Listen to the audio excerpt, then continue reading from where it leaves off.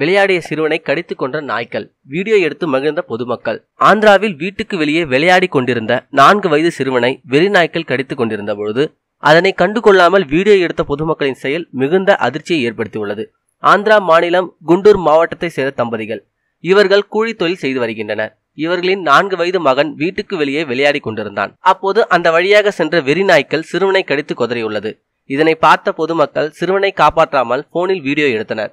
இதன் பின்னர் சிறுவனின் தந்தை மகனின் நிலைமையை கண்டு அலறியடுத்து நாயிடமிருந்து காப்பாற்றி மருத்துவமனையில் அனுமதித்துள்ளார். சிறுவனின் உடலின் நாய்க்கள் பலமாக கடித்ததால் மருத்துவமனைக்கு செல்லும் வழியே இறந்துள்ளான். இந்த செயல் மனிதாபிமானம் இல்லாததை காண்பிக்கிறது என்று சமூக ஆழ்வாளர்கள் பொதுமக்கள் மீது குற்றம் சாட்டினர்.